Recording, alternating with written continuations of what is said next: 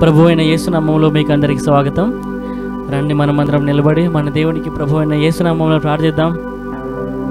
ఈరోజు మనం చాలా సంతోషించదగిన రోజు. ఇంతకాలం దేవుడు మనల్ని సజీవులుగా ఉంచున్నాడు. అనేక రకాల లోకంలో మనుషులు కనుమరుగైపోతున్నారు. అయితే దేవుడు మనల్ని భూమి మీద సజీవులుగా ఉంచున్నాడు. హాలెలూయ హాలెలూయ దేవుడు మనల్ని ప్రాణాలతో ఉంచడానికి గొప్ప కారణాలే ఉన్నాయండి. హాలెలు ఆ దేవుడి యొక్క ఉద్దేశాలన్నీ మన జీవితంలో నెరవేరాలని మనం నేర్ నెరవేర్చే వారంగా మనం ఉండాలని చెప్పేసి మనం దేవుడిని అడుగుదాం. దేవుని ఉద్దేశాలు మనం తెలుసుకుందాం. మనం దేవునికి ఇష్టమైన ప్రార్థిద్దామా? ఈరోజు దేవుడు మనతో మాట్లాడబోతున్నాడు. దేవుడు మన మధ్యలో గొప్ప కార్యాలు చేయబోతున్నాడు. ఇన్ని రోజులు మనల్ని కాపాడుతు కాపాడిన దేవునికి మనం దేవుడికి వందనాలు చెల్లిద్దాం. దేవునికి మన సూత్ర బలిలో అర్పిద్దామా? ఈ సమయంలో ఆలెలుయ ప్రభువా నీకు వందనాలు. పరులోకి వందన మా తండ్రి ఈ సమయంలో మమ్మల్ని నీ సన్నిధిలో చేర్చినందుకు వందనాలు చెల్లిస్తున్నాను. అవును ప్రభా మేము ఆయా ప్రదేశాల్లో మా గృహాలలో అనేక రకాల ప్రదేశాల్లో ఉండి నిన్ను కనపరచడానికి చేరి ఉన్నాం ప్రభా అయితే మాతో నీ ఉన్నావు రాజా మేము ఒంటరిగా లేము నాయన. మాతో నీ ఉన్నావు. నీ దివ్య సన్నిధిని మా పైన ఉంచినందుకు నీకు వందనాలు చెల్లిస్తున్నావు తండ్రి. దేవా నీకు వందనాలు తండ్రి. నీవు మాతో ఉన్నందుకు వందనాలు ప్రభా. అనేక సమయాల్లో మేము నిన్ను విడిచి దూరం అయిన సమయంలో మాతో ఉన్నావు. నీకు దూరంగా మేము వెళ్ళిపోయినప్పుడు మా దగ్గరికి నీవు వచ్చావు రాజా. మమ్మల్ని దరి చేర్చుకున్నందుకు వందనాలు చెల్లిస్తున్నాను. వెదకి మమ్మల్ని వచ్చావు. మమ్మల్ని కాపాడావు. నీకు వందనాలు చెల్లిస్తున్నాను ప్రభా. పడిన సమయంలో లేవనెత్తావు. అన్ని సమయాల్లో మమ్మల్ని కాపాడావు రాజా. నీకు వందనాలు తండ్రి. నీకు ప్రతి కీడు నుంచి మమ్మల్ని తప్పిస్తూ ఇంతకాలం మమ్మల్ని భూమి మీద సజీవులుగా ఉంచినందుకు వందనాలు. సజీవుల లెక్కలో ఉంచావు రాజా. నీకు వందనాలు చెల్లిస్తున్నాను తండ్రి. తండ్రి నీకు వందనాలు. నీ ప్రియకుమారుడిని యేసుక్రీస్తుని పంపి మమ్మల్ని రక్షించినందుకు వందనాలు. మా పాపాల నుంచి మమ్మల్ని విమోచన చేసినందుకు వందనాలు చెల్లిస్తున్నాను తండ్రి. తండ్రి నీకు వందనాలు. ప్రభావ మమ్మల్ని దీవించి ఆశీర్వదించమని అడుగుతున్నాం ప్రియ తండ్రి. ఈ సమయంలో ఆరాధించడానికి మేము కూడి ఉన్నాం. మా ఆరాధనలు తోడుకుంటూ మా ఆరాధన ద్వారా మీరే నీవే ఘనత పొందునాయన నీవు మహిమపరచబడమని వేడుకుంటున్నాను. పాటలు పాడే సమయంలో మేము కలిసి పాడడానికి మాకు కావాల్సిన సహాయం చేయమని అడుగుతున్నాను. అంతేకాకుండా ప్రభా ఎదురుపడే ప్రతి ఆటంకాలను తొలగించు. దూరపరచమని అడుగుతున్నాం ప్రియ తండ్రి. తండ్రి అంత మాత్రమే కాకుండా ప్రభా వాక్యం వినే సమయంలో మాకు తోడుకుండు ఏకాగ్రతతో వాక్యం వినడానికి సహాయం చేయండి. ఎదురుపడే ప్రతి ఆటంకాలను తొలగించు. నీ దివ్య సన్నిధి మాతో ఉంచి మమ్మల్ని నడిపించమని వేడుకుంటున్నాం ప్రభా. వాక్యాన్ని బాగా అర్థం చేసుకోవడానికి మాకు సాయం చేయి. నీ దేవ సేవకుని నీ దైవ సేవకుని ద్వారా మాతో మాట్లాడు. మాతో ఉండు మాకు తోడుకుంటూ మాకు సహాయం చేయమని అడుగుతున్నాం ప్రియ తండ్రి. ఆది నుండి అంతవరకు ఈ ఆరాధన క్రమమని ఆశీర్వదించమని కాపాడమని వేడుకుంటాం ప్రియ తండ్రి. నా జరేయుడని ఏ సునామంలో నేను వేడుకుంటున్నాను తండ్రి. ఆ మెయిన్ ఆ మెయిన్ ఆ మెయిన్ హాలెలుయ ఈ సమయంలో మనం పాటలు పాడి దేవుని ఆరాధించుదాం. పాటలు తెలిసిన వాళ్ళు అందరు కలిసి దేవుని ఆరాధించండి.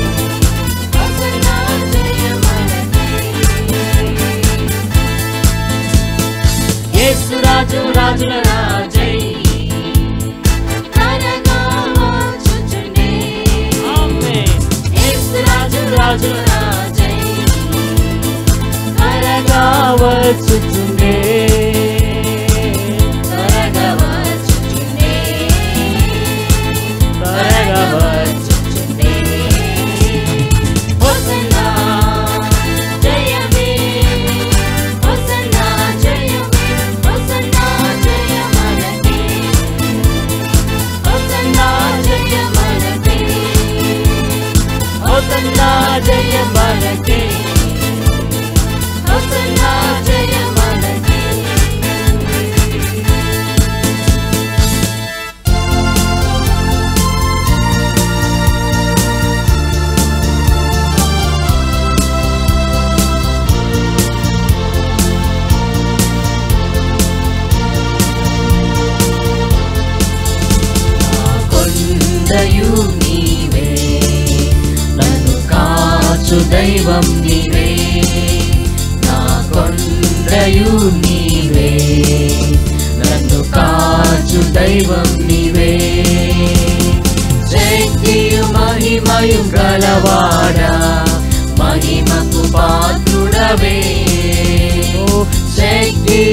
మహిమయు గలవాడా మహిమకు పాత్రుడవే. అందరూ పాడదామా? ఆరాధన నీకే. ఆరాధన నీకే. ఆరాధన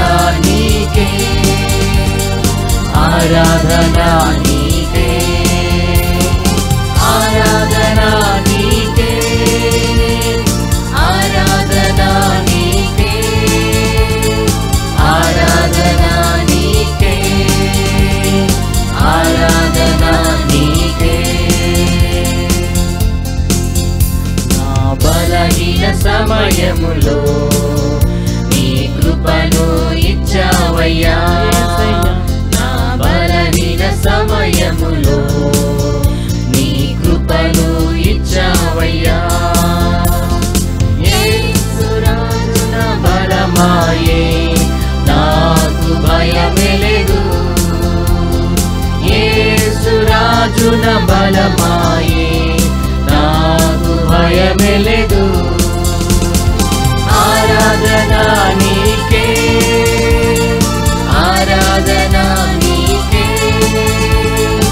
आराधनानि के आराधनानि आराधना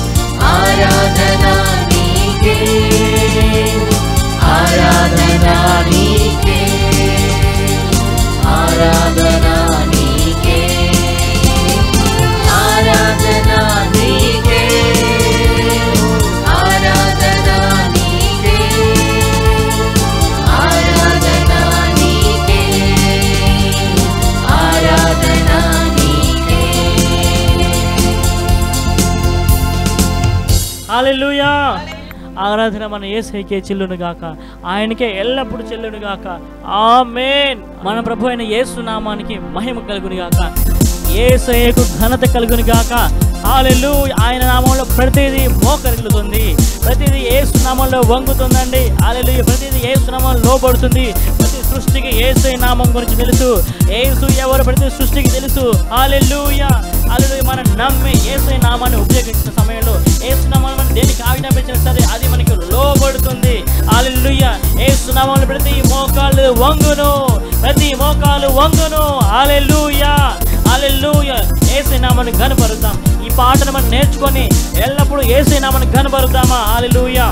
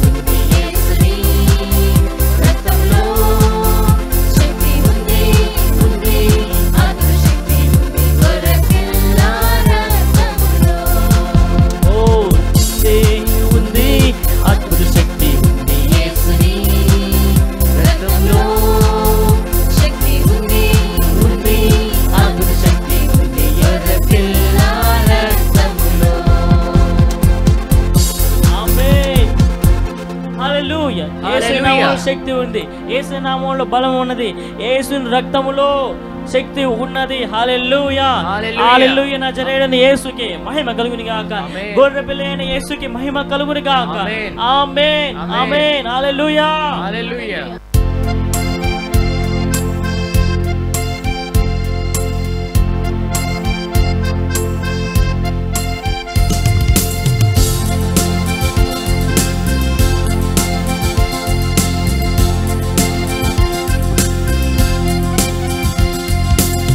Yehovah Shalom, Hallelujah. Yehovah Nissi hallelujah Yehovah Shalom hallelujah Yehovah Nissi hallelujah Yehovah Jireh hallelujah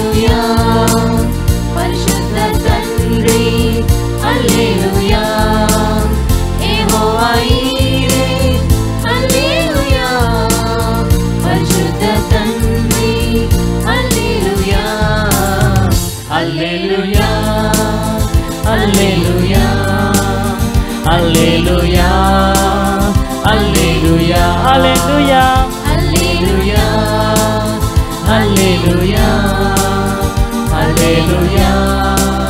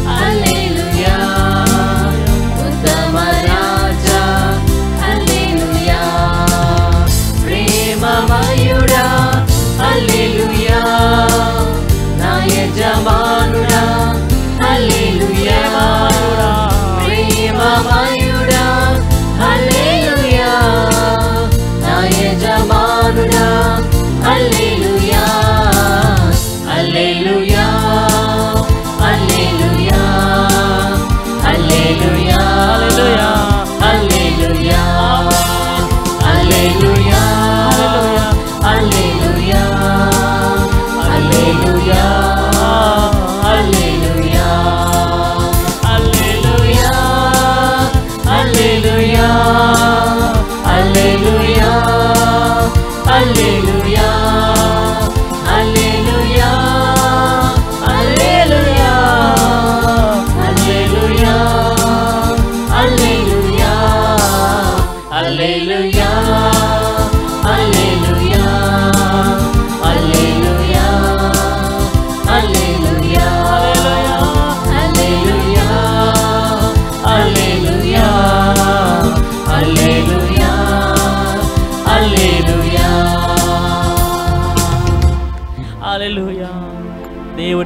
దేవుడికి మహిమ కలుగును గాక ఘనత కలుగును గాక alleluia alleluia alleluia alleluia alleluia alleluia alleluia alleluia alleluia alleluia Alleluia, Hallelujah.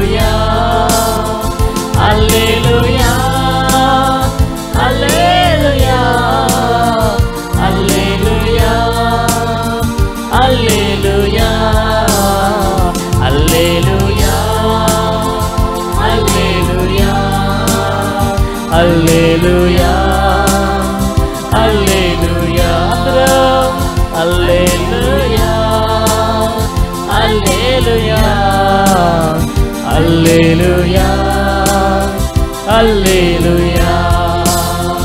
చారోను రోజా అల్లేలుయా. లిల్లీ పుష్పమా అల్లేలుయా. చారోను రోజా నీవే. రోజా alleluia. Lily పుష్పమా alleluia.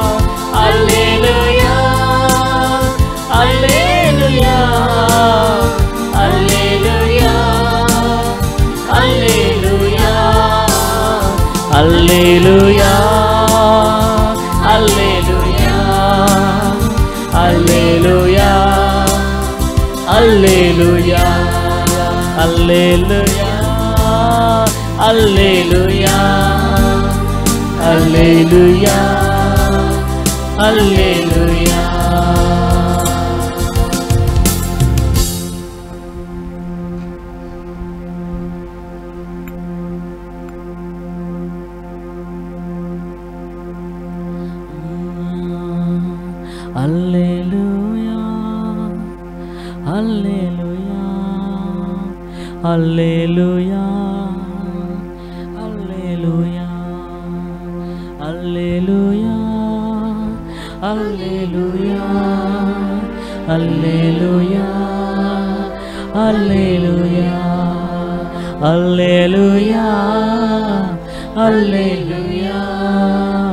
Alleluia alleluia alleluia alleluia alleluia alleluia ప్రభా నీకు వందనాలు. ఈ సమయాన్ని దీవించమని అడుగుతున్నాను ప్రభు. ఈ సమయంలో నేను ఆలపించున్న మా ఆరాధనకి. జవాబు ఇవ్వమని అడుగుతున్నాను. మా ఆరాధనలో ఘనత పొందు. అవును తండ్రి. అవును తండ్రి నీకు వంద మా ఆరాధనలు మీరు అంగీకరించినందుకు వందనాలు. మా ఆరాధనల పైన సింహాసనాసీనుడుగా ఉన్నందుకు వందనాలు చెల్లిస్తున్నాను అయ్యా ఈ సమయంలో నీకు వందనాలు చెల్లిస్తున్నాను తండ్రి. ప్రభా నీ వాక్యం వినబోతుండగా మా హృదయాలు సిద్ధపరచు. మమ్మల్ని నీ రక్తంతో కడుగు మమ్మల్ని పవిత్రపరచు విశ్వరాజా తండ్రి నీకు వందనాలు. మా హృదయాలు సిద్ధపరచమని అడుగుతున్నాం ప్రభా. మమ్మల్ని మీ రక్తంతో కడుగు శుద్ధి చేయి పవిత్రపరచమని అడుగుతున్నాను ఏసయ్యా తండ్రి ఏసై రక్తంతో నీకు మాడని ఏసు రక్తంతో మమ్మల్ని కడుగు. బాగు చేయి పవిత్రపరచమని అడుగుతున్నాను. నీ వాక్యం వింటుండగా మాకు సాయం చేయి. ఎదురయ్యే ప్రతి అవరోధాన్ని ఆటంకాన్ని తొలగించు. మాకు సహాయం చేయమని అడుగుతున్నాం ప్రతి తండ్రి. నీ వాక్యాన్ని శ్రద్ధగా విని ఏకాగ్రతతో విని నీ వాక్యంలో శక్తిని బలాన్ని పొందుకోవడానికి మాకు సహాయం చేయమని అడుగుతున్నాను మా హృదయాలు బాగు చూసుకోవడానికి మారు పొందడానికి మాకు సాయం చేయమని అడుగుతున్నాం ప్రతి తండ్రి. నజరేడని ఏ సునామని నేను అడుగుతున్నాను. మీ సేవకుడిని అభిషేకించి బలంగా వాడుకోమని అడుగుతున్నానయ్యా అవును తండ్రి ఈ వాక్యం ఎంతమంది వింటున్నారో వినబోతారో అందరిని కూడా ఆశీర్వదించు. తాకు రాజా ప్రతి ఒక్కరి పట్ల నీకు ఉద్దేశం నెరవేర్చు. గొప్ప సత్యాలు మర్మాలు నీ వాక్యం ద్వారా బయలుపరచమని అడుగుతున్నా ప్రియ తండ్రి. నీ సేవకుని ద్వారా బయలుపరచమని అడుగుతున్నాను నా జరేయుడని ఏ సునామాలు నేను నేను అడుగుతున్నాను తండ్రి. ఆమెన్ ఆమెన్ ఆమెన్.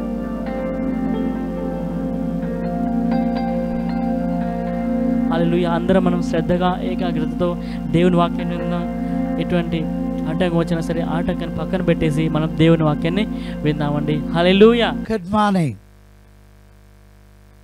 ప్రైజ్ లాడ్ అందరు బాగున్నారా? ఉదయ కాలవేళలు యూట్యూబ్ ద్వారా ప్రత్యక్షంగా మిమ్మల్ని దేవుని వాక్యంతో కలుసుకోవడం నాకెంతో సంతోషం. దేవుని యొక్క కృపను బట్టి ఇంతవరకు మనలందరినీ కూడా ఆ రెక్కల చాటున మనం ఎంతగానో సురక్షితంగా కాపాడిన దేవునికి ఘనత మహిమ ప్రభావములు కలుగునుగాక ఈ ఉదయకాల ధ్యానము కొరకై మనము యోహాను రాసిన మొదటి పత్రికలో ఎనిమిదవ వచనాన్ని మనం చదువుకుందామండి. దేవుడు ప్రేమ స్వరూపి. ప్రేమ లేనివాడు దేవుని ఎరగడు. మనము ఆయన ద్వారా జీవించినట్లు దేవుడు తన అద్వితీయ కుమారుని లోకములోనికి పంపెను. దీని వలన దేవుడు మన ఎందుంచిన ప్రేమ ప్రత్యక్షపరచను. హలలుయ ప్రేమ ప్రత్యక్షమైంది. ఎలాగంటే దేవాది దేవుడు తన ఏకైక కుమారుణ్ణి మన కొరకు ఈ లోకంలోనికి పంపి ఆయన తన ప్రేమను వ్యక్తపరుచున్నాడు. ఆయన నామమునకు స్తోత్రం కలుగునుగాక అవును దేవుని యొక్క వాక్యము స్పష్టంగా మనకు తెలియజేస్తూ ఉంది గాడ్ ఈజ్ లవ్ దేవుడు ప్రేమాస్వరూపి. అయితే కొంతమంది ఏమంటారంటే లవ్ ఇస్ గాడ్ అని అంటారు. లవ్ ఇస్ నాట్ గాడ్ చాలా రకమైన ప్రేమలు ఉన్నాయి. అయితే దేవుడు ప్రేమ స్వరూపి. ఇది వాస్తవమైనటువంటి విషయము. దేవునికి స్తోత్రం కలుగును గాక. మరి దీన్ని పరిశీలిస్తూ ఉండగా దేవుడు నాకు ఒక వాక్యాన్ని దేవుడు గుర్తు చేశాడు. హెబ్రి పత్రిక పన్నెండవ అధ్యాయములో ఇరవై తొమ్మిదవ వచనములో దేవుడు ఇక్కడ ఈ విధంగా రాయించాడు. ఏంటో మనం ఒకసారి మనం చూద్దాం. దేవునికి స్తోత్రం కలుగును గాక. ఇరవై ఎనిమిది ఇరవై తొమ్మిది రెండు వచనాలు కలిసి ఉంటాయి. మనం చదువుకుందాం. అందువలన మనము నిశ్చలమైన రాజ్యమును పొంది దైవ కృప కలిగి ఉందము. ఆ కృప కలిగి వినయ భయభక్తులతో దేవునికి ప్రీతికరమైన సేవ చేయుదుము. ఏలయనగా మన దేవుడు దగించు అగ్ని అయి ఉన్నాడు. ఏంటి పాష గారు? ముందేమో దేవుడు ప్రేమ స్వరూపి అని చెప్పారు. ఇప్పుడేమో దేవుడు దగించు అగ్ని అయి ఉన్నాడు అని చెప్తున్నారు. ఇది బైబిల్ అయినా చెప్పేది. దేవుడు దగించు అగ్ని అయి ఉన్నాడా? దేవుడు అంత ఉగ్రత కోపాగ్ని కలిగిన వాడా? అని ఒక గొప్ప సందేహం మనకి రాకమానదు సందేహం రావడం మంచిదే. ఎప్పుడైతే సందేహం వస్తుందో మన వాక్యాన్ని మనం పరిశీలిస్తాం మనం వెతుకుతాం. అలా వెతకాలి సత్యాన్ని తెలుసుకోవాలి. సత్యాన్ని ఎప్పుడైతే పరిశీలిస్తామో దాన్ని వెతుకుతామో సత్యాన్ని తెలుసుకుంటామో ఆ సత్యమే నిన్ను నన్ను మనల్ని స్వతంత్రులుగా చేస్తుంది. అలలుయా దేవుని నామమునకు మహిమ కలుగును గాక మంచిది. మరి దేవుడు ప్రేమస్వరూపి ఆయనను కూడా ఆయన దగించు అగ్ని అయి ఉన్నాడు. అది ఎందుకని? మరి ఈరోజు దీన్ని మనం దేవుని యొక్క వాక్యం ద్వారా మనం పరిశీలించుదామండి. దేవునికి స్తోత్రం కలుగును గాక అలలుయా మంచిది. ఇక్కడ మనము యోగాను సువార్త మూడవ అధ్యాయము పంతొమ్మిదవ వచనాన్ని ఒకసారి మనం చదువుకుందాం. యోగాను శివాత మూడవ అధ్యాయములోని పంతొమ్మిదవ వచనము. దేవునికి స్తోత్రం కలుగును గాక. ఇక్కడ పద్దెనిమిది పంతొమ్మిది రెండు వచనాలు మనం కలిపి చదువుకుందామండి. ఆయన ఎందు విశ్వాసముంచువానికి తీర్పు తీర్చబడదు. విశ్వసింపని వాడు దేవుని అద్వితీయ కుమారుని నామమందు విశ్వాసముంచలేదు. గనుక వానికి ఇంతకు మునుపే తీర్పు తీర్చబడను. ఆ తీర్పు ఇదే. వెలుగు లోకములోనికి వచ్చను. కానీ తమ క్రియలు చెడ్డవైనందున మనుషులు వెలుగును ప్రేమింపక చీకటినే ప్రేమించిరి. దుష్కార్యము చేయు ప్రతివాడు వెలుగును ద్వేషించును.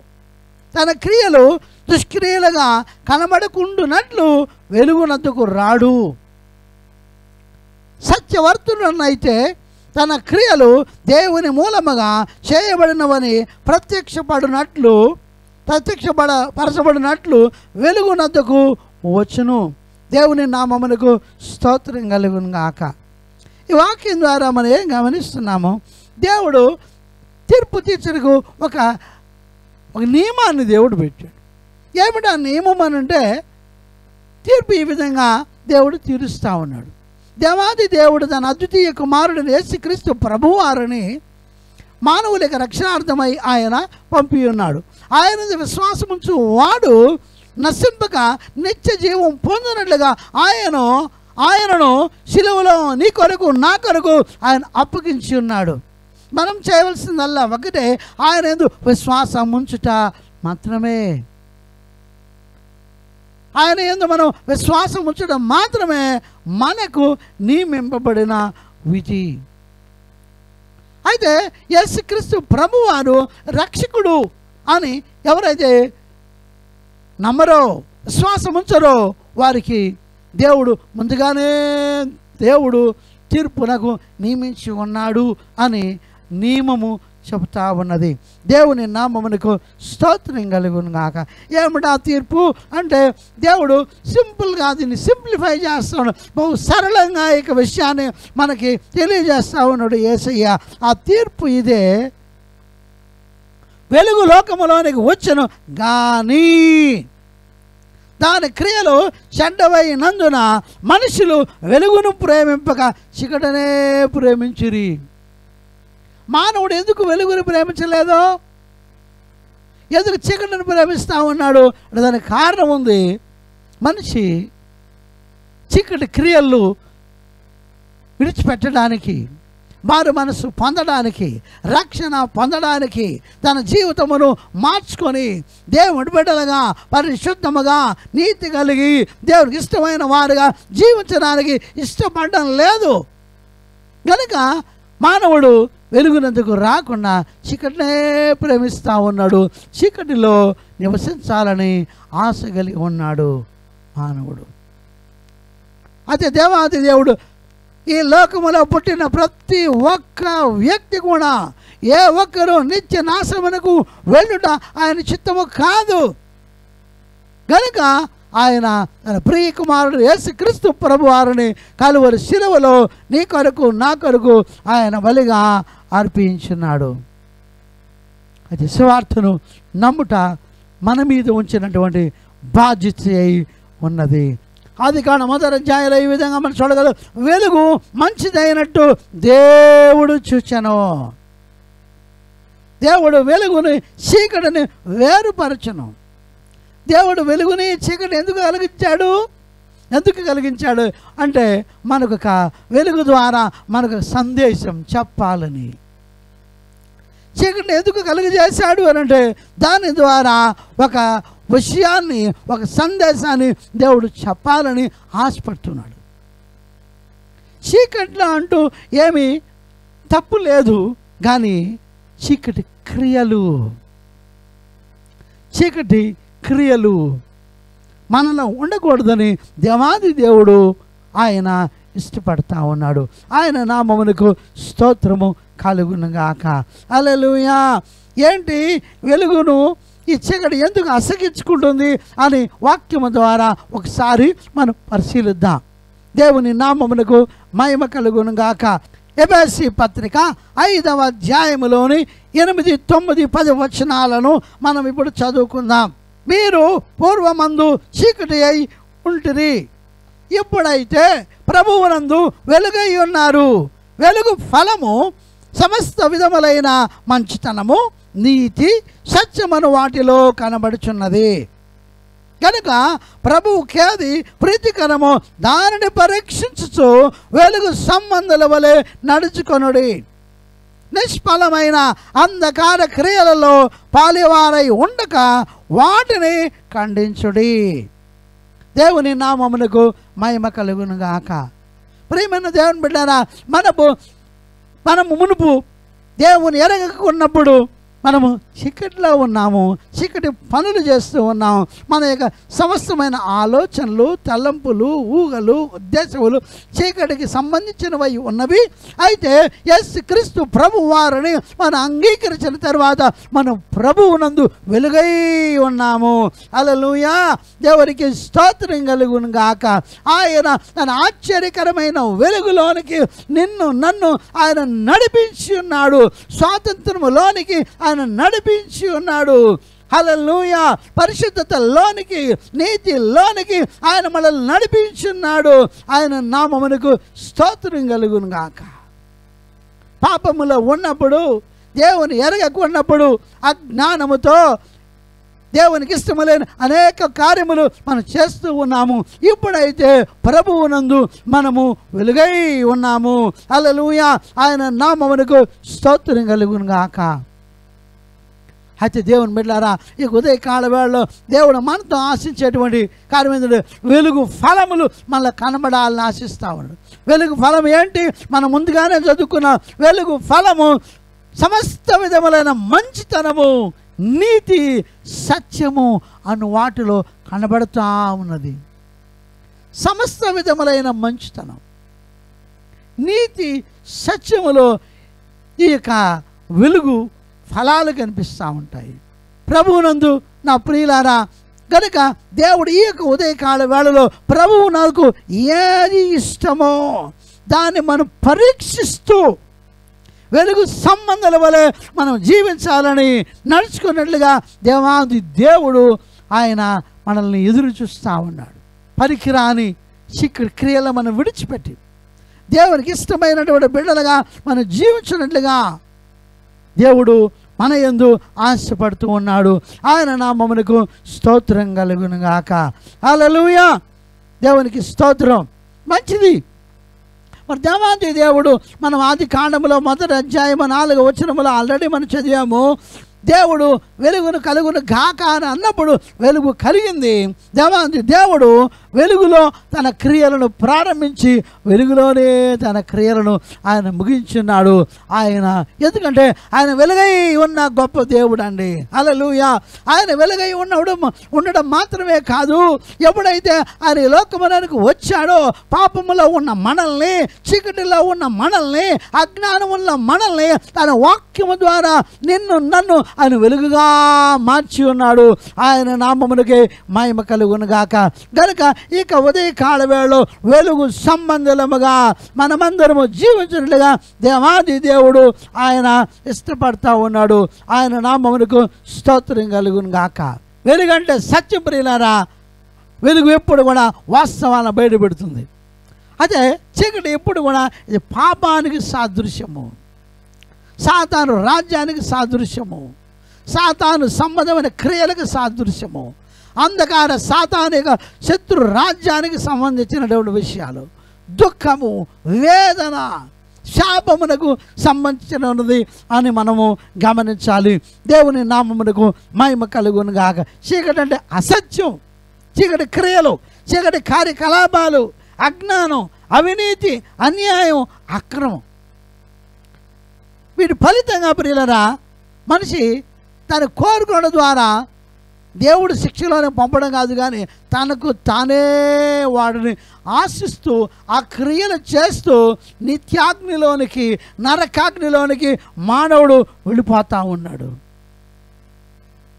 ఇక తీర్పులోనికి శిక్షలోనికి అనేది దేని మీద ఆధారపడి ఉంటుందనంటే అది మనుషుని మీదనే. అది మన మీదనే ఆధారపడి ఉంటుంది. దేవుడు ఎవరు? ఎవరిని ఒకరిని తీర్పు తీర్చి ఆయన నరకాగ్నిలోనికి ఆయన పంపే దేవుడు ఏమాత్రం కానే కాదండి. This depends upon our own choice అయితే ప్రియులారా వెలుగు ఫలములు ఫలించేవారుగా మనము జీవించేవారంగా ఉండి ఆయనకి ఇష్టమైనటువంటి పిల్లలకు క్రియలు చేయడానికి దేవాది దేవుడు మనకందరికీ సాయము చేయనుగాక. మనక వచనము మనము అప్పస్తున్న పౌలు హెబ్రిలకు రాసిన పత్రికలో రెండవ అధ్యాయములోని రెండు మూడు రెండు వచనాలు కూడా మనం చదువుకుందాం. ఎందుకనగా దేవదూతల ద్వారా పలకబడిన వాక్యము స్థిరపరచబడినందున ప్రతి అతిక్రమమును అవిధేయతను న్యాయమైన ప్రతిఫలము పొంది ఉండగా ఇంత గొప్ప రక్షణను మనము నిర్లక్ష్యము చేసినడలా ఎలాగూ తప్పించుకుందుము. దేవుడు ప్రేమాస్వరూపి నిజమే. సేమ్ టైం దేవాది దేవుడు దగించి అగ్నేయం ఉన్నాడు అనే మాట కూడా ఎంతో వాస్తవము. అది ఎలాగో అంటే మనం ముందుగానే మనం చూచాము చీకటి క్రియలను మనిషి మానవుడు ఎప్పుడైతే ప్రేమిస్తాడో దేవుని సత్యమును ద్వేషిస్తాడో దేవుని సత్యానికి దూరమైపోతాడో ఆటోమేటిక్గా మానవుడు దేవుని యొక్క ఉగ్రతలోనికి తీర్పులోనికి తానే స్వయముగా వెళ్ళిపోతూ ఉన్నాడు. అది ఎలాగూ సంభవిస్తుందంటే దేవుడు మనకిచ్చినటువంటి ఇంత గొప్ప రక్షణను నిర్లక్ష్యము చేసినప్పుడు ఈ కార్యము సంభవిస్తుంది. ప్రియులరా చదువుకున్న ఈ యొక్క వాక్య భాగములో మనము ఆల్రెడీ మనం చదువుకున్నాము. దేవాది దేవుడు అనేకమైన తీర్పులు ముందుగానే పాత నిబంధన గ్రంథములో దేవుడు అనేక తీర్పులు ఇస్రాయేల్ ప్రజలకు విధించాడు. బాబోలోను రాజులకి విధించాడు. ఇస్రాయేల్ దేశాన్ని ఎవరైతే చెరలోనికి తీసుకుని వెళ్ళారో ఆ చుట్టుపక్కల ఉన్న రాజ్యములన్నింటి కూడా ఘోరమైనటువంటి తీర్పులు విధించాడు. అంత మాత్రమే కాదు దేవుని ప్రజలు పాపము చేసినప్పుడు వారిని కూడా బహుగా శిక్షించాడు అన్న విషయము మనకందరికీ బాగా స్పష్టంగా మనము ఎరిగి ఉన్నాము. ఆయన నామములకు మహిమ కలుగును గాక కనుకనే భక్తులను పౌలు ఈ విధంగా రాశారు ఇంత గొప్ప రక్షణను మనము నిర్లక్ష్యము చేసిన ఎలాగో తప్పించుకుందము. దేవుని యొక్క హస్తములో నుండి ఎవరు కూడా తప్పించుకోలేరండి. ఎవరు కూడా తప్పించుకోలేరు. కనుకనే ఈ యొక్క మాటను భక్తుడైన పౌలు ఈ విధంగా మనకి రాస్తూ ఉన్నాడు. అపోస్తున్న పౌలు హెబ్రిలకు రాసిన పత్రిక పన్నెండవ అధ్యాయములో పదహారు పదిహేడు వచనాలు మనం చదువుకుందామండి. ఒక పూట కూటి కొరకు తన జ్యేష్ఠ పుత్రత్వపు హక్కును అమ్మివేసిన ఏసావు వంటి భ్రష్టుడెవడైనను వ్యభిచారి అయినను ఉండునేమో అని జాగ్రత్తగా చూచుకొనుడి. ఏసావు ఆ తర్వాత ఆశీర్వాదమును పొందగోరి కన్నీళ్ళు విడుచుచు దానికోసము శ్రద్ధతో వెతికినను మారు మనసు పొంద అవకాశము దొరకక విసర్జింపబడనని మీరెరుగుదురు. దేవాది దేవుడు ఇక్కడ ఏసావును ద్వారా మనకు విషయాన్ని తెలియజేస్తా ఉన్నాడు. ఈ ఏసావు ఎవరు అని అంటే అబ్రాహం యొక్క మనవుడు. ఇస్సాకుకు దేవుడిచ్చినటువంటి తొలిచోలు సంతానం. పెద్దవాడు జ్యేష్ఠ పుత్రతో జ్యేష్ఠుడిగా పుట్టినవాడు జ్యేష్ఠ పుత్రతో హక్కును నిర్లక్ష్యం చేసినవాడు. దేవాది దేవుడు అతన్ని ఎనుకొని మొట్టమొదటి వాడుగా తన కుటుంబంలో అతన్ని జన్మింపజేశాడు. జ్యేష్ఠుడిగా గొప్ప ఆధిక్యతను దేవుడు అతనికి ఇచ్చాడు. తన తాతగారికి తండ్రి గారికి దేవుడిచ్చిన గొప్ప వాగ్దానములకు అతను వారసులుగా చేశాడు. అయితే ఇక ఏసావు తండ్రిలో ఉన్న విశ్వాసమును కానీ తాతగారికి ఇచ్చిన వాగ్దానములే కానీ ఏ మాత్రము కూడా కొంచెం కూడా పునికి పుచ్చుకోనే లేదు. అతడు దేవుడిచ్చినటువంటి వాగ్దానముల పట్ల దేవుడు వారికి ఇచ్చిన విశ్వాసం పట్ల నిర్లక్ష్యము కలిగిన వాడుగా అతను ఉన్నాడు. ఆయన ఏ తన అతడు ఏ మాత్రం కూడా దాని ఎందు లక్ష్యం వచ్చిన వాడుగా మనం కనిపి కనబడం మనం. కనబడదు మనకి. దేవుని నామములకు మహిమ కలుగును గాక. అయితే యాకోబు అలా కాదు. అతని యొక్క తండ్రి గారిని గమనించేవాడు. అతనిలో ఆయనలో ఉన్నటువంటి భక్తిని గమనించేవాడు. ప్రార్థనను గమనించేవాడు. తండ్రిలో విశ్వాసం తండ్రిలో ఉన్న విశ్వాసం మనం గమనించేవాడు. దేవుని గురించి తండ్రి గారు చెబుతూ ఉన్నటువంటి మాటలు శ్రద్ధగా ఆలకించి తండ్రి అయిన అతని యొక్క తండ్రి అయిన దేవుడైనటువంటి యహోవా దేవుణ్ణి ఎల్షదాయ్ దేవుణ్ణి తన దేవుడిగా స్వీకరించి ఆ విశ్వాసములో కొనసాగుతూ ఉన్నాడు ఈ యొక్క యాకోబు. దేవుని నామమునకు మహిమ కలుగును గాక. ఒకనాడు ఏమి జరిగింది అని అంటే వేటకు వెళ్ళి తిరిగి వచ్చినటువంటి ఏసావు గొప్ప ఆకలితో ఉండగా తినడానికి ఏమైనా ఉన్నదానని తన తమ్ముడి దగ్గరికి వస్తాడు. అతడు అప్పుడే చిక్కుడుగాయల వంటకాన్ని వండుతూ ఉన్నాడు. ఎర్ర ఎర్రగా ఉన్నదాన్ని దాన్ని చూసి ఆ ఎర్ర ఎర్రగా ఉన్నదాన్ని నాకు కొంచెం పెట్టవా అని అన్నాడు. తమ్ముడైన యాకోబు ఏమన్నాడో తెలుసా? నీ జ్యేష్ఠ పుత్రులతో హక్కును నాకు అమ్మేసి అప్పుడు నేను నా వంటకాన్ని ఇస్తాను. లేకపోతే నేను ఇవ్వను అన్నాడు. చచ్చిపోయేవాడిని నేను. నాకెందుకు ఈ యొక్క జ్యేష్ఠ పుత్రుడు హక్కు అనని ప్రమాణము చేసి చిక్కుడుగాయల కొర్ర వంటకానికి ఆశపడి తన జ్యేష్ఠ పుత్రుడు హక్కును అమ్మివేసేసాడు కొంతకాలానికి అతను ఏ విధంగా అమ్మేసేసాడో అతని అశ్రద్ధకు తగినట్టుగానే అతని నిర్లక్ష్యానికి తగినట్టుగానే తమ్ముడైనటువంటి యేస తమ్ముడైన యాకోబు చేసపోతున్నది పుత్రుడు హక్కుని తండ్రి యొద్ద నుండి సొంతం చేసుకుంటాడు. తండ్రి యొక్క దీవెనలు యాకోబుకి సంక్రమించాయి.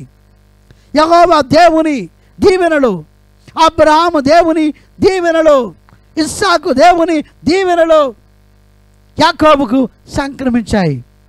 అయితే ఏసావు తన దీవెనను పోగొట్టుకున్నాడు. జస్ అపుత్రతో హక్కును పోగొట్టుకున్న కారణం ఏంటంటే అతను తన తండ్రిలో ఉన్న విశ్వాసమునకు దూరుడుగా సత్యానికి దూరమైన వాడుగా విశ్వాసమునకు దూరమైన వాడుగా వేట పట్ల అధిక ఆంక్ష ఆకాంక్ష కలిగిన వాడుగా అరణ్య వాసిగా అతను జీవిస్తూ ఉన్నాడు. అవకాశము పోగొట్టుకున్న తర్వాత తండ్రి ఎద్దుకు తిరిగి వచ్చి కన్నీటితో తండ్రి ఈ ఒక్క దీవెన నీ దగ్గర ఉన్నదా? వేరే దీవెన నాకు లేదా అని తండ్రి యొక్క బహుగా రోధించి కన్నీళ్ళతో తండ్రిని బతిమాలుకుంటాడు. తండ్రి బహు దుఃఖముతో అవును బాబు నా దగ్గర ఒక్క దీవెనే ఉన్నది అనని ఆ ఒక్క దీవెన ఇదిగో నా చిన్న కుమారుడు యాకోబుకు నేను మనస్సారా? అతడు తెచ్చినటువంటి ఆహారమును నేను భుజించి మనస్సారా అతను నేను దీవించాను అనని ఇస్సాకు అంటాడు. ఆ రీతిగా అతని యొక్క నిర్లక్ష్య వైఖరిని బట్టి అశ్రద్ధను బట్టి విశ్వాసము పట్ల జాగ్రత్త లేనివాడుగా ఉన్నటువంటి ఏసావు తన తండ్రి అయినటువంటి దీవెనలను సొంతం చేసుకుంటాడు. జస్ పుత్రుల హక్కుని సొంతం చేసుకుంటాడు. ఏసావు కన్నీళ్ళతో పోగొట్టుకున్న ఆ యొక్క జస్ పుత్ర హక్కు కొరకు మరలా తండ్రిని బ్రతిమలాడి కూడా అతను ఆఖరికి పొందలేకపోతాడు.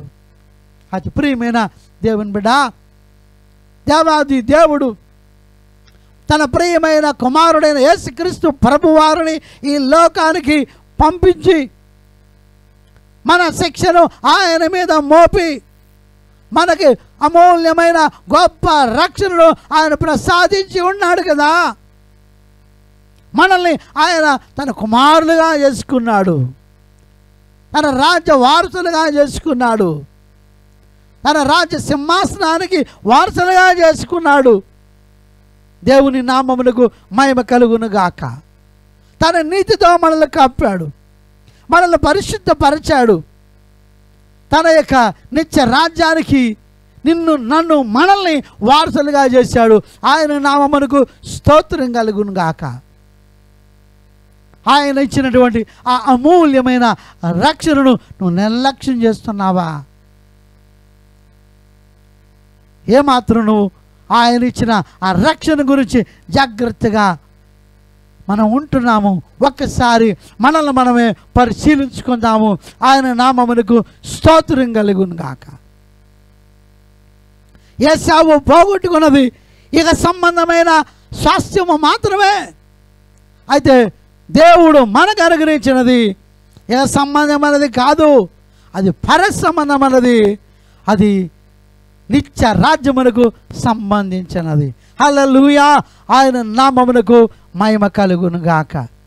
మొదటిగా దేవుడు ఏసావుకి అనుగ్రహించినటువంటి గొప్ప అమూల్యమైనటువంటి శ్రేష్టమైనటువంటి జ్యేష్ఠ పుత్ర హక్కుని నిర్లక్ష్యము చేసినటువంటి కార్యాన్ని గురించి మనం చూచాము. దేవునికి మహిమ కలుగును గాక. ఇప్పుడు రెండవదిగా మనము సదమ్మ గుమర్రా పట్టణములో ప్రజలు ఏ విధంగా దేవుడు వారికి ఇచ్చినటువంటి ఆ స్వాతంత్ర్యాన్ని విలువైన జీవితాలను ఏ విధంగా వాళ్ళు నాశనం చేసుకున్నారో మనము రెండవదిగా మనము గమనించబోతున్నాం. దేవునికి స్తోత్రం కలుగును గాక. ఆది కాండము పంతొమ్మిదవ అధ్యాయములోని పదమూడవ వచనాన్ని మనం చదువుకుందాం. ఆది కాండము పదమూడవ పంతొమ్మిదవ అధ్యాయములోని పదమూడవ వచనము.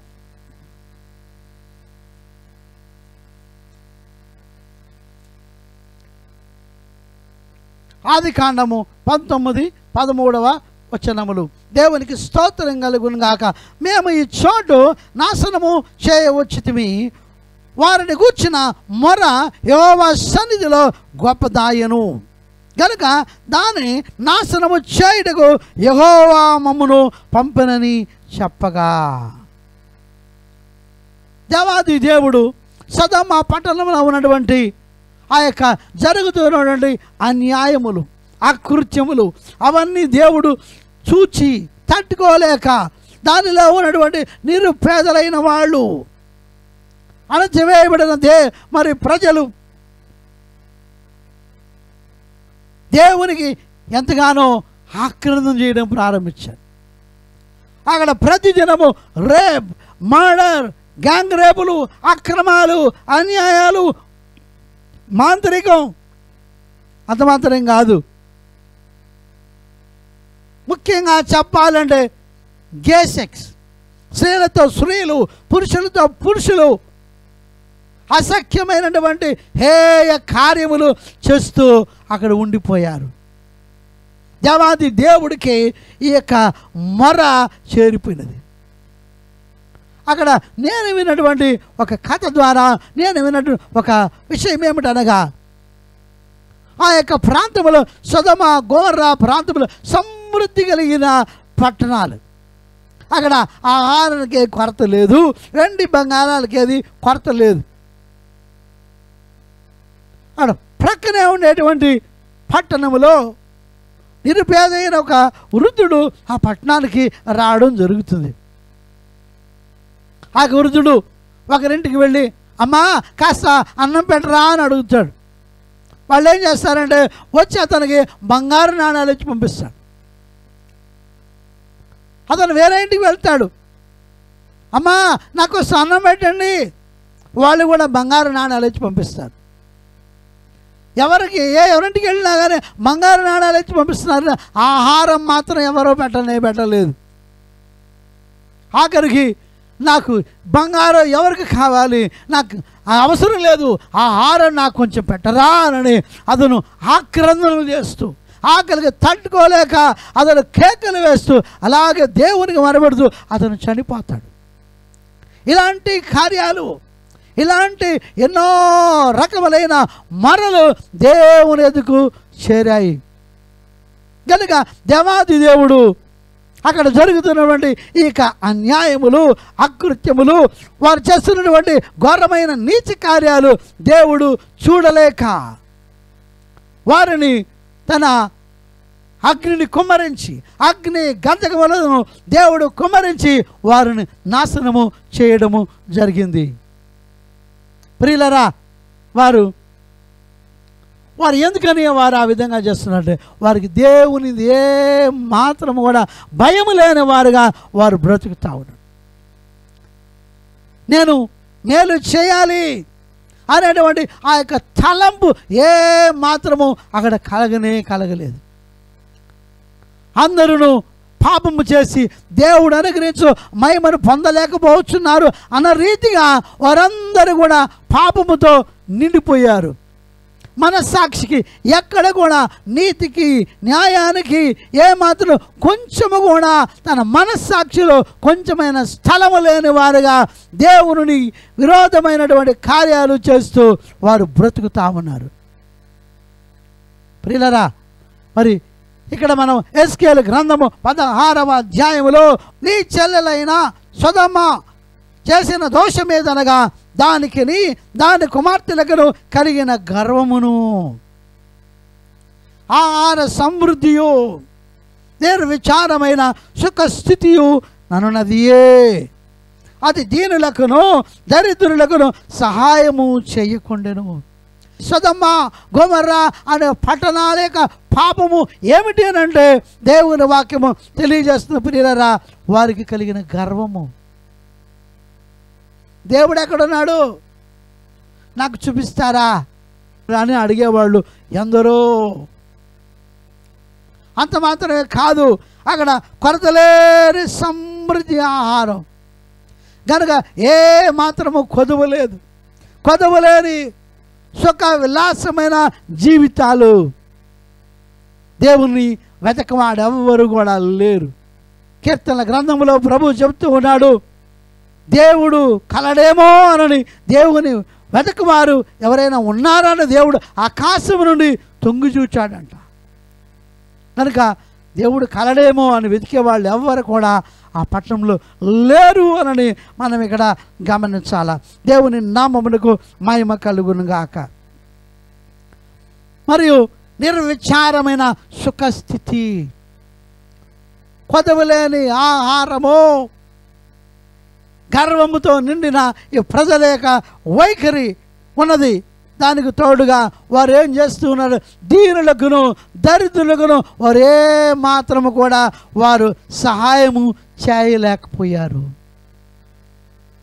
సహాయము చేయలేని దీన స్థితిలో ఉన్నారు. వారికి లేక కాదు కానీ దీనుల పట్ల అసఖ్యము దీనుల పట్ల నిర్లక్ష్యము. దీనుల యొక్క ఆక్రందనను విని వారికి ఒక గొప్ప సంతోషం ఒక ఆనందం. అలాంటి మరి ఇతరుల యొక్క కష్టాలు ఇతరుల యొక్క వేదనలు బాధలు చూచి వారిని ఆదుకోలేకుండా పోయేది మాత్రమే కాదు నన్ను ఆనందించేటువంటి ఒక స్వభావము ఈ స్వతమ గోమర్ర పట్టణస్థులకు ఉండేది. దేవాది దేవుడు ఈ కార్యమును కూడా గమనించాడు. గమనించిన కారణం చేత దేవాది దేవుడు ఎట్టకేలకు ఆయన అగ్ని గంధకములను ఆ పట్టణం మీద కుమరించి ఆ పట్టణాన్ని సమూలంగా నాశనము చేసి ఉన్నాడు. ఆయన నామమునకు స్తోత్రం కలుగును గాక. ఆయన ప్రియులరా ఏమాత్రము దేవుని ఎందు భయభక్తి లేని వారుగా కామ వికారంతో స్త్రీలతో స్త్రీలు పురుషులతో పురుషులు తన కామ విలాస కోరికలు నెరవేర్చుకుంటూ దేవుని సన్నిధానములో వికృతమైన చేష్టలు చేస్తూ దేవుని సన్నిధిలో నెట్టివేయబడిన వారుగా వారు జీవించారు. అయితే ప్రేమన దేవుని బిడ్డారా వారు ఆసక్య పనుల్లో తెగ ఆనందపడిపోతున్నారు అయితే దేవుడు తన ఉగ్రతను కుమ్మరించి ఆ సమయంలోనే వారిని నాశనం చేశాడు. ఈ రోజుల్లో కూడా ప్రజలు ఎలా ఉన్నారు? ఇటీవల ఇటలీ పట్టణంలో కోవిడ్ నైన్టీన్ ద్వారా విపరీతముగా అక్కడ ప్రజలు చనిపోయారు. అనేక వేల మందికి లక్ష కంటే అధికమైన ప్రజలకు కోవిడ్ నైన్టీన్ సోకడం కారణం చేత అనేకులు చనిపోయారు. వీడియోలో నేను గమనించిన ఒక కార్యము. వుహాన్లో అక్కడ కొంత తగ్గుముఖం పట్టిన తర్వాత అక్కడ నుండి కొంతమంది చైనా దేశం నుండి ఇటలీకి కొంతమంది వచ్చారు. వచ్చిన తర్వాత ఆ వారంలో జరిగిన ఒక కార్యం ఏంటో తెలుసా? గే ఫెస్టివల్ అని అక్కడ నిర్వహించడం జరిగింది. పురుషులతో పురుషులు స్త్రీలతో స్త్రీలు అసఖ్యమైన కార్యములు వాళ్ళు చేయడం ప్రారంభించారు. కోవిడ్ నైన్టీన్ దానిలో పాల్గొన్న అనేకులకు సోకి అనేక వేల మంది దుర్మరణం పాలయ్యారు. దేవుని యొక్క వాక్యములు చెప్పిన రీతిగా పాపం వలన వచ్చు జీతం మరణము అని చెప్పబడిన రీతిగా వారు ఆ మరణాన్ని వాళ్ళు సొంతం చేసుకున్నారు. ప్రియులరా ఈ కార్యాలన్నీ మనం గమనిస్తూ ఉన్నప్పుడు మనము కూడా మన జీవితాల్లో ఒకసారి మనము చక్కపరుచుకోవడానికి మనల్ని మనము జాగ్రత్తగా సరిచూసుకోవాల్సిన వారముగా మనం ఉన్నాము. ఆయన నామమునకు స్తోత్రం కలుగునుగాక. ప్రియులరా మనము మరొక విషయాన్ని మనం ఇక్కడ మనం గమనించబోతాం. మనము ఇంత సుఖంగా ఇంత క్షేమంగా మనం ఉంటున్నామంటే దానికి కారణం ఉన్నదండి. హెబ్రి పత్రిక నాలుగవ అధ్యాయము పద్నాలుగు పదిహేను పదహారు వచ్చినాల్లో మనం ఇక్కడ చదివినట్లయితే దేవాది దేవుడు దేవుని కుమారుడైన ఎస్ క్రీస్తు ప్రభువారు ఆయన మన కొరకు ఆయన చేస్తున్న ఒక కార్యాన్ని మనము ఇక్కడ గమనించగలుగుతాం. దేవునికి స్తోత్రం కలుగును గాక మన ప్రధాన యాజకుడు మన బలహీనతల యందు మనతో సహానుభావం లేనివాడు కాడు. కానీ సమస్త విషయములలోనూ మన వలనే శోధింపబడి ఆయన పాపము లేనివాడుగా ఉండెను. గనుక మనము కనికరింపబడి సమయోచితమైన సహాయము కొరకు కృప పొందినట్లు ధైర్యముతో కృపాసనమునద్దకు చేరుదము. ప్రియమైన దేవుని బిడ్డారా మన ప్రధాన యాజకుడైన ఎస్ క్రీస్తు ప్రభువారు తండ్రి యొక్క కుడి పార్శ్వమున నిలబడి నీ కొరకు నా కొరకు ఆయన విజ్ఞాపన చేస్తూ ఉన్నాడు. ఏమని విజ్ఞాపన చేస్తూ ఉన్నాడు? ఏ విధంగా? ఆ యొక్క తోటమాలి వ్యవసాయకుడితో మొరపెడుతూ ఉన్నాడో. అయ్యా ఈ ఒక్క సంవత్సరము మాత్రము మీరు అవకాశం ఇవ్వండి. నేను దాని చుట్టూ తవ్వి ఎరువు వేసి బాగా నీరు పెట్టి సంరక్షిస్తాను. ఈ ఒక్క సంవత్సరము దయచేసి మీరు అవకాశం ఇవ్వండి అనని తోటమాలి ఏ విధంగా వ్యవసాయకుని బ్రతిమాలుకుంటాడో అదే రీతిగా మన ప్రభు యేసు క్రీస్తు ప్రభువారు మన ప్రధాన యాజకుడు తండ్రి దేవాది దేవుని కుడి పార్శ్వములో మన కొరకు నిలబడి విజ్ఞాపన చేస్తూ ఉన్నాడు. మనము తప్పిపోయిన వేళల్లో సోదనలో పడిపోయే వేళల్లో మన యొక్క కాలు జారు వేళల్లో ఆయన దుఃఖపడి వేదన పడి కూడా ఆయన ఈ ఒక్కసారి తండ్రి ఈ ఒక్కసారి క్షమించవా ఈ ఒక్కసారి మన్నించవా అని తనైన దేవుణ్ణి ఎస్సయ్య బతిమలాడుకుంటూ ఉన్నాడు. ఆయన ఎదుకు వస్తున్న మన కొరకు ఆయన విజ్ఞాపన చేస్తూ ఉన్నాడు. కనుక ప్రియులరా ఈ యొక్క ఉదయ కాలవేళలో అవసరతలో సహాయం కొరకు ఆయన మనం వెతుకుదాం. వ్యాధిలో స్వస్థత కొరకు ఆయన వెతుకుదాం. శోధనలో పడిపోయే వేళలో ప్రభువా నాకు సాయం చేయవా? నన్ను బలపరచవా? శోధనలో పడిపోకుండా లేవనెత్తండి ప్రభువా అని ఆయనను మనం బతిమలాలుకుందాం ఆయన నామమునకు మహిమ కలుగును గాక. ఒకవేళ మరణ పడకలో ఉన్నావేమో జీవము కొరకు మనం విజ్ఞాపన చేస్తుండగా ఆయన మనకు జీవం ఇచ్చినట్టుగా తండ్రి దేవుణ్ణి బతిమలాడుకుంటూ ఉన్నాడు.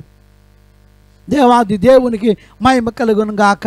అవును ప్రియులారా ఆయన మనల్ని సాక్షిగా నిలబెట్టుటకు పరలోకములో ఆయన కుడి పార్శ్వము ఆయన సింహాసనం వద్ద మనము కూడా జయించిన వారముగా మనం నిలబడాలని మన కొరకు ఆయన విజ్ఞాపన చేస్తూ ఉన్నాడు. పిలిపిలు నాలుగవ అధ్యాయము మనము ఆరవ వచనాన్ని మనం చదువుకుందాం.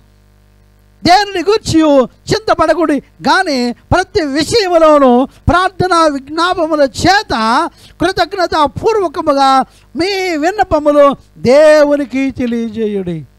ప్రభువా ఇంతవరకు నన్ను ఆదుకున్నావు నన్ను పోషించావు.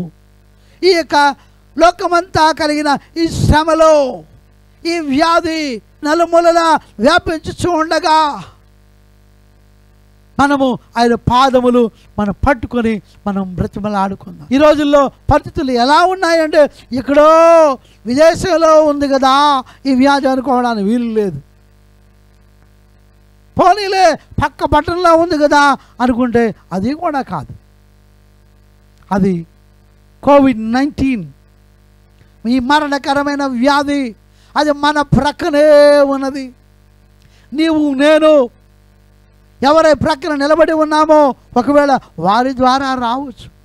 కాయగూరలు కొనేదానికి మార్కెట్కి వెళ్ళినప్పుడు ఒకవేళ మనకి సోకవచ్చు లేకపోతే మరి మనం తీసుకునేటువంటి కరెన్సీ నోట్స్ ద్వారా ఒకవేళ మనకి సంక్రమించవచ్చు. ఏ రీతిగానైనా అది మనకు సంక్రమించవచ్చు. అయితే ప్రియమైన దేవుని బిడ్డారా ఈ యొక్క ఉదయ కాలవేళలో మనము నిర్లక్ష్య వైఖరి మనకి పనికిరాదు.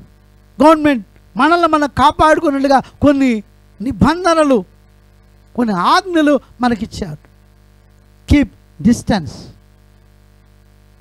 సామాజిక దూరాన్ని పాటించండి. మాస్కులు వేసుకోండి. శానిటైజర్తో ఈ చేతుల్ని శుభ్రం చేసుకుంటూ ఉండండి. పదే పదే మరలా మరలా మీ యొక్క చేతుల్ని కడుక్కోండి శుభ్రం చేసుకోండి అని గవర్నమెంట్ వారు చెప్పారు. చాలా మంచిది. ఈ సూచనలు మనం పాటించడం ద్వారా ఖచ్చితంగా ఆ వైరస్ని చాలా వరకు మనం నిర్మూలించవచ్చు. దేవుని నామములకు మహిమ కలుగును గాక. అయితే కోవిడ్ నైన్టీన్ వైరస్ చేతులు కడుక్కుంటే వెళ్ళిపోవచ్చేమో. అది పాపం అనే వైరస్. అది నీ హృదయంలో ఉన్నది. కోవిడ్ నైన్టీన్ బయట నుంచి వస్తూ ఉన్నది. అయితే ఈ పాపం అనే వైరస్ అది నీ హృదయంలో నుండి వస్తూ ఉన్నది. నీ హృదయంలో నుండి అది బయటకు వచ్చి నిన్ను నన్ను మనల్ని అది అపవిత్రపరుస్తూ ఉన్నది. దేవుని రాజ్యానికి దూరం చేస్తూ ఉన్నది. ఆయన మనకు అరుగు సిద్ధపరిచిన ఆశీర్వాదములకు దూరం చేస్తూ ఉన్నది. కనుక ప్రియమైన దేవుని బిడ్డారా ఈ యొక్క విషయాన్ని గురించి మనం చాలా జాగ్రత్తగా ఉండాలి. చేతులు గడుక్కుంటే పాపం పోదండి. ఎస్ క్రీస్తు పరిశుద్ధ రక్తముతో మన చేతులు మాత్రం కాదు మన హృదయాన్ని మన యావత్ జీవితాన్ని ఆత్మ ప్రాణ దేహాలను మనం పవిత్రపరచుకుందాం. ఆయన రక్తములో మనల్ని మనము భద్రపరుచుకుందాం.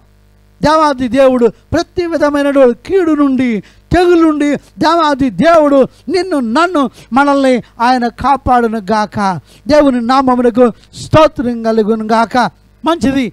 ఇక వేళలో కీర్తనకారుడు కీర్తనల గ్రంథము యాభై అధ్యాయములోని పదిహేను వచనములో భక్తుడైనటువంటి దావీదు ఈ విధంగా చెప్తా ఉన్నాడు. ఆపత్కాలమున నీవు నన్ను గురించి మర్రపెట్టుము నేను నిన్ను విడిపించదును. నీవు నన్ను మహిమపరచదువు. నీవు నన్ను మహిమపరచదువు. కనుక ప్రియులారా ఆపత్కాలములో మనం ఉన్నాము బహు ఘోరమైనటువంటి కడవరి జనముల్లో మనం ఉన్నాము దేవుని ఉగ్రత భూమి మీద కొమ్మరింపబడేటువంటి జనముల్లో మనం ఉన్నాము ఈ చెడ్డ జనముల్లో మనం ఉండగా ప్రియులారా ఆపద మనకు పొంచి ఉండగా ఆయనను గూర్చి మనం మరపెడదాం. ప్రభువా నన్ను విడిపించు. నేను నీకు సాక్షిగా జీవిస్తాను. నాకు సహాయం చేయండి. నన్ను ఆదుకో ప్రభువా. నన్ను లేవనెత్తు తండ్రి. నీవుగాక నాకెవరు లేరు అని ఆయన పాదములు పట్టుకొని మనం బ్రతిమలాడదాము. మనం ఆయనకి మరబెడుతూ ఉండగా ఆయన మన మరణాలకించి మనల్ని విడిపించి ఆయన నామమును మన ద్వారా ఆయన మయమపరచుటకు ఆయన ఎంతైనా నమ్మదగిన దేవుడిగా ఉన్నాడు. అవును ప్రియులారా మరి ఏసయ్య ప్రధాన యాజకుడు మన కొరకు ఎందుకు విజ్ఞాపన చేస్తున్నాడయ్యా అని మనకు సందేహం రావచ్చు. ప్రియులారా ఎందుకంటే ఆయన జయించి తండ్రి అయిన దేవాది దేవుని సింహాసనమందు ఆశీనుడైన రీతిగా జయించు వారిని నేను నా సింహాసనం మీద కూర్చుండనిచ్చదును అని ప్రభు ప్రకటన గ్రంథములో మూడవ అధ్యాయములో ఆయన తెలియజేసి ఉన్నాడు. కనుక ప్రియులారా నీవు నేను జయమందిన వారముగా సమస్తమును జయించిన వారముగా ఆయన రాజ్యమునకు అర్హులుగా మార్చబడాలని ఆయన మనను ఎదురు చూస్తూ ఉన్నాడు. ఒకవేళ ప్రియమైన దేవుని బిడ్డ నువ్వు పడిపోయిన స్థితిలో ఉన్నను లేవనెతుడుగు మన దేవుడు ప్రధాన యాజకుడు ఎస్ క్రీస్తు ప్రభువారు ఆయన జాలి కలిగిన దేవుడిగా ఉన్నాడు. ఎస్ క్రీస్తు ప్రభువారు ఆయన తను తాను పరిపూర్ణముగా అప్పగించుకున్న ఆ కారణము చేత మనకి పరిపూర్ణమైనటువంటి విడుదల మనకు కలుగుతూ ఉన్నది. ఎబ్రి పత్రిక రెండవ అధ్యాయంలోను పదవ వచనాన్ని మనం చదువుకుందాం. ఎవరి నిమిత్తము సమస్తమును ఉన్నవో ఎవరి వలన సమస్తమును కలుగుచున్నవో ఆయన అనేకులైన కుమారులను మహిమకు తెచ్చుచుండగా వారి రక్షణ కర్తను శ్రమల ద్వారా పరిపూర్ణముగా చేయుట ఆయనకు తగును. ఇక అమూల్యమైన రక్షణ మనకు పరిపూర్ణంగా ఎలా సంక్రమిస్తూ ఉందంటే ప్రధాన యాజకుని విజ్ఞాపన మాత్రమే కాదు ఆయనకు పరిపూర్ణమైన విధేయత వలన కూడా మనకి సంక్రమిస్తూ ఉన్నది. మనము అనుదిన రక్షణ మనకు లభిస్తూ ఉన్నది. మనం మనం ఇక్కడ గమనిస్తాం. మరి ప్రియులరా ఎస్ క్రీస్తు ప్రభువారు ఆయన ఆయనే సమస్తానికి మూలమై ఉన్నాడు. ఆయన ద్వారా సమస్తము కలిగి ఉన్నాయి. ఆయనను కూడా మనల్ని ఆయన తన మహిమలోనికి చేర్చినట్లుగా ఆయన మన కొరకు ఆయన శ్రమలను అనుభవించి ఉన్నాడు ఆ యొక్క శ్రమలు ఎలాంటి శ్రమలు? బహు ఘోరమైనటువంటి బహు వేదనకరమైన శ్రమలు ఎస్ క్రీస్తు ప్రభువారు నీ కొరకు నా కొరకు అనుభవించాడు. ఎందుకో తెలుసా? ఆయన అనుభవించాడు. ఆయన తన విధేయతను పరిపూర్ణముగా కనపరుచుకున్నాడు. ఎబ్రి పత్రిక ఐదవ అధ్యాయములో ఏడు ఎనిమిదవ వచనములో ఈ విధంగా మరి భక్తునైన పౌలు రాస్తా ఉన్నాడు. శరీరధారి అయి ఉన్న దినముల్లో మా రోదనముతోనూ కన్నీళ్ళతోనూ తన్ను మరణము నుండి రక్షింపగల వారికి ప్రార్థనలను యాచనలను సమర్పించి భయభక్తులు కలిగి ఉన్నందున ఆయన అంగీకరింపబడెను. ఆయన కుమారుడు ఉండి తాను పొందిన శ్రమల వలన విధేయతను నేర్చుకొనను. ప్రియులరా ఆయన విధేయత నేర్చుకున్నాడంట. ఎందువల్ల విధేయత నేర్చుకున్నాడో తెలుసా? నీకు నాకు మాదిరిగా ఉండునట్లుగా ఆయన విధేయతను నేర్చుకున్నాడు. అందుకనే గెత్సమనే తోటలో ఆయన మరపెడతాడు. తండ్రి నీ చిత్తమైతే ఈ యొక్క గిన్నెను నా ఎదురు నుండి తొలగించము. ఆయనను నీ చిత్తమే సిద్ధించును గాకారని తండ్రిని దీనాతి దినముగా ఏసయ్య వేడుకుంటాడు. ఆ శిలవంలో మరణించడానికి ఈ లోకానికి వచ్చాడు. నీ కొరకు నా కొరకు శ్రమలను అనుభవించడానికే వచ్చాడు. మరణమును అనుభవించడానికే వచ్చాడు. ఆయనను ఆ యొక్క అవమానము ఆ తిరస్కారము లోకములో జీవిస్తూ ఉన్న జీవించబోయే జీవించి ఉన్న ప్రతి ఒక్కొక్కరి యొక్క పాపములు మర్మమైన రీతిగా యేసు క్రీస్తు ప్రభు వారి మీద మోపబడుతూ ఉండగా దేవాది దేవుని కుమారుడు నీతిమంతుడు పరమ పరిశుద్ధుడు దేవుని కుమారుడు మిక్కిలి అసఖ్యముగా బహు ఘోరముగా ఆయన కనబడుతూ ఉన్నాడు. కనుక ఆ యొక్క లోక పాపముల గిన్నె తన ఎదుట ఉన్నది. దాని కారణముగా దేవుడు కృత యావత్తు యేసు ప్రభు వారి మీద కొమ్మరింపబడడానికి సిద్ధముగా ఉండగా ఆయన మరపెడుతూ ఉన్నాడు. తండ్రి నీ చిత్తమైతే ఈ గిన్నె నా ఎద్దు నుండి తొలగించుము ఆయన ప్రార్థిస్తూ ఉన్నాడు. ఆయనను నీ చిత్తమే సిద్ధించునుగాక ఆయనని తండ్రిని దినాతి దీనముగా వేడుకొనడము మనం గమనిస్తున్నాం. ప్రియులరా గమనించండి. ఆయన తనకు ఇష్టమున్నా లేకున్నా నిన్ను ఆయన కలువరి శిలువలో ఆయన చూస్తూ ఉన్నాడు ఆయన. నిన్ను చూచాడు కలువరి శిలువలో నన్ను చూచాడు కలువరి శిలువలో ఆయన కలువరి శిలువకు వెళ్ళకపోతే ఆయన నీ కొరకు నా కొరకు మరణమును అనుభవించకపోతే మనకి విడుదలే లేదు. మనకి విడుదలే లేదు. నిత్య నరకాగ్నికి మనమందరము కూడా ఏకముగా వెళ్ళవలసిన వారంగానే ఉన్నాం ప్రియులరా. ఎస్ క్రీస్తు ప్రభువారు తన యొక్క పరిపూర్ణమైన విధేయతను కనపరిచాడు. పరిపూర్ణమైన విధేయత కనపరచడం అంటే ఏంటి? పరిపూర్ణమైన విధేయత కనపరచడం అంటే అహంను చంపుకోవడమే.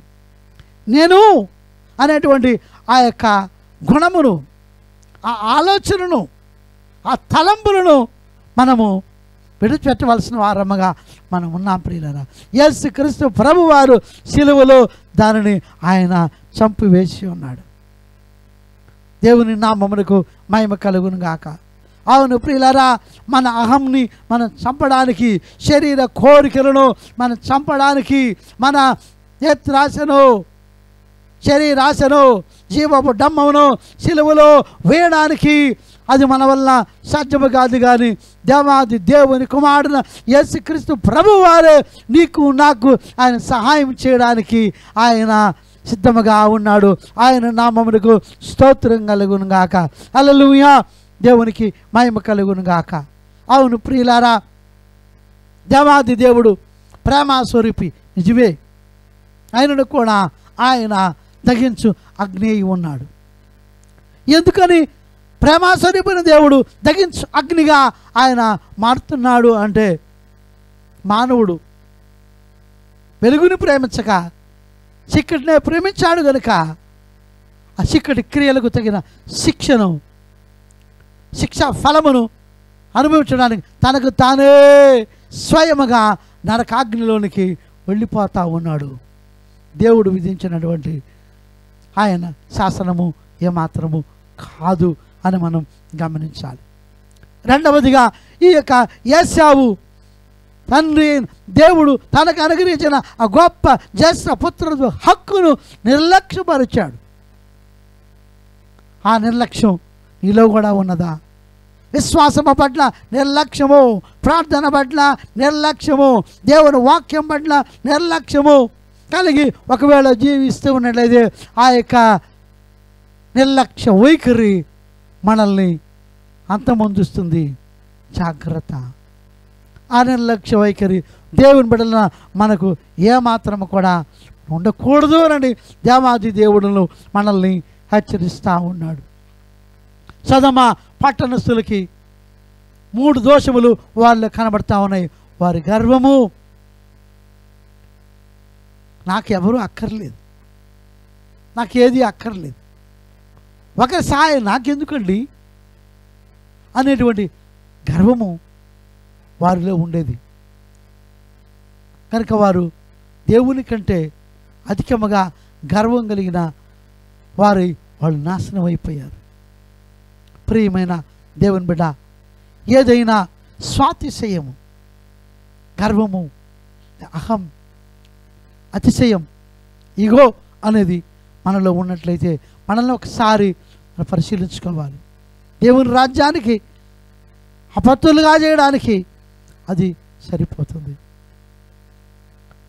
మనము గమనించాలి. మరి ఇక సుధమ పట్టణస్తుల్లో నిర్విచారమైనటువంటి స్థితి మనం గమనిస్తా ఉన్నాం.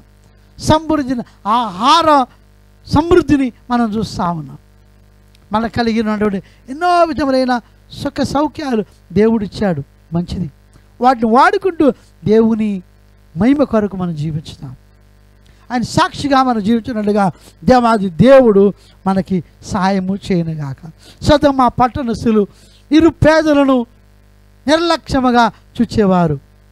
అలాంటి స్వభావం మనలో ఏమాత్రము కూడా ఉండకూడదు అని దేవాది దేవుడు మనకి జ్ఞాపకం చేస్తూ ఉన్నాడు. అవును ప్రియులరా మనం వెలుగు సంబంధులముగా నీతియు పరిశుద్ధతయు మంచితనమును కలిగిన వారముగా దేవుని యొక్క నామమును మహిమపరచవారముగా నీవు నేను మనమందరము కూడా జీవించాలని దేవాది దేవుడు ఇష్టపడతా ఉన్నాడు. ఆయన నామమునకు స్తోత్రం కలుగును గాక. గనుక ప్రియులరా అపోసిన పౌలు పిలిపిలిగా రాసిన పత్రిక రెండవ అధ్యాయములో పన్నెండవ వచనములో ఈ విధంగా రాస్తా ఉన్నాడు. కాగా ప్రియులారా మీరెల్లప్పుడూ విధేయులై ఉన్న ప్రకారము. నా ఎదుట ఉన్నప్పుడు మాత్రమే గాక. మరి ఎక్కువగా నేను మీతో లేని కాలం లేని ఈ కాలమందును భయముతోను వణకుతోను సొంత రక్షణను కొనసాగించండి. అవును ప్రియులరా దేవాది దేవుడు మనకు అనుగ్రహించిన రక్షణ అది అమూల్యమైనది. అది వెండి బంగారములతో కొన్నది కాదు. అది వెండి బంగారముల కంటే అమూల్యమైనదైన దేవుని గొర్రె పిల్ల వంటి ఎస్ క్రీస్తు రక్తము ద్వారా కొనబడినది ఈ అమూల్యమైన రక్షణ. ఈ అమూల్యమైన రక్షణను దేవుడు మనకు అనుగ్రహించుండగా ఈ యొక్క అమూల్యమైన రక్షణను మనం జాగ్రత్తగా మనం కాపాడుకుందాం. మన కుటుంబాన్ని ప్రార్థన ద్వారా రక్షించుకుందాం. బిడ్డల పట్ల కుటుంబం పట్ల నిర్లక్ష్య వైఖరి మనం ఏ విధంగా జీవిస్తున్నాము అనే దాని పట్ల నిర్లక్ష్య వైఖరి మనకి ఏమాత్రము తగదు. కనుక ఈ యొక్క ఉదయ కాలవేళలో దవాది దేవుడు మనకు అనుగ్రహించిన ఈ వాక్యం ద్వారా మనల్ని ఒకసారి మనం సరి చేసుకొని దేవాది దేవుని యొక్క కృపకు పాత్రులుగా మన జీవించటకు ఆయన మనకి సాయం చేయనుగాక ప్రార్థించుకుందాం.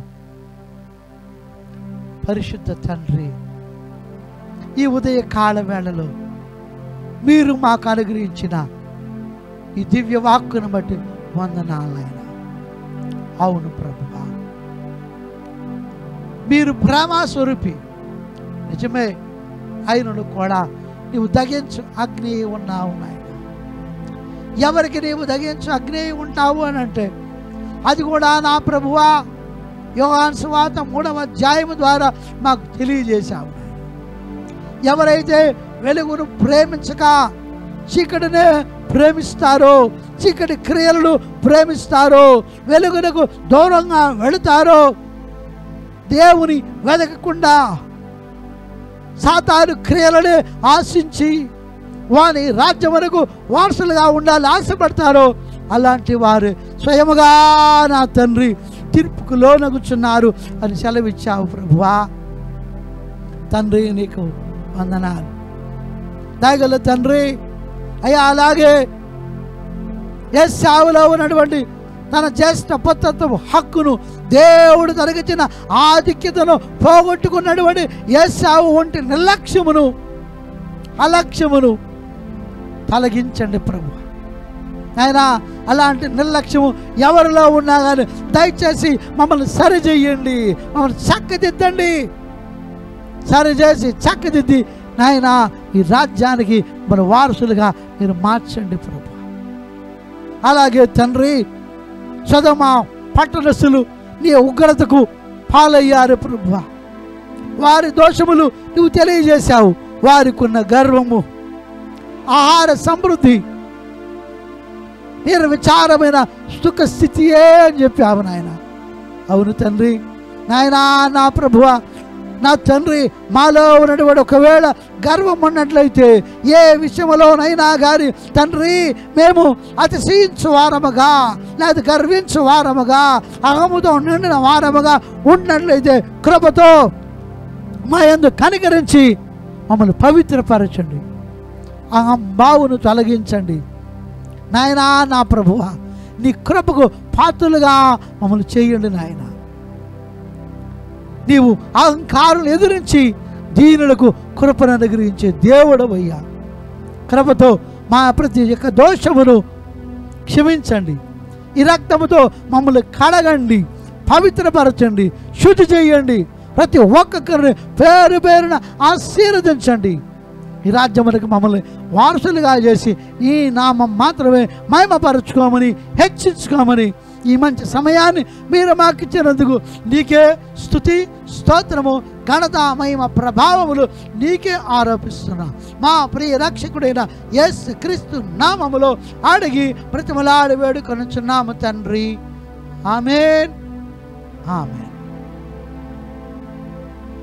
ఈ కాల వేళలో ప్రియమైన దేవుని బిడ్డారా మరి మీరు ఈ యొక్క వాక్యం ద్వారా మీరు ఆశీర్వబడినట్లయితే దయచేసి మీ యొక్క ప్రార్థనా మనవులు దీన్ని పంపించండి. ఈ వాక్యమును ఇతరులకు కూడా మీరు షేర్ చేసి అనేకులు దీవెనలు పొందినట్లుగా మీరు ప్రోత్సహించమని ప్రభు పేరట నేను మనవి చేస్తూ ఉన్నాను. కొందరు మీ యొక్క విలువైన కానుకలు పంపి సేవలో సహకరించారు. దేవుడు మిమ్మల్ని దీవించును గాక. దేవుని మిమ్మల్ని పరిపూర్ణమైన సమృద్ధి దీవెనలతో నింపి ఆశీర్వదించును గాక. మీకు ఏదైనా ప్రార్థన మనం ఉన్నట్లయితే దయచేసి మరి ఎప్పుడైనా ట్వంటీ ఫోర్ సెవెన్ ఎప్పుడైనా ఏ రోజైనా దయచేసి ఫోన్ ద్వారా మీ యొక్క విజ్ఞాపనలను మీరు దయచేసి పంపించమని వాట్సాప్ ద్వారా ఫోన్ మూలముగా తెలియజేయమని ప్రేమతో మనవి చేస్తూ ఉన్నాను. దేవునికి మహిమ కలుగును గాక. ఆశీర్వదం చెప్పుకుందాం. పరమ తండ్రి అయిన దేవుని ప్రేమ మన ప్రభు అయిన యేసుక్రీస్తు కృప పరిశుద్ధాత్మ యొక్క అన్యోన్య సహవాసమును సదాకాలము ఆయన తోడు నీడ మన ఎల్లరికి తోడై ఉండును గాక ఆమెన్. ఆమెన్. God bless you.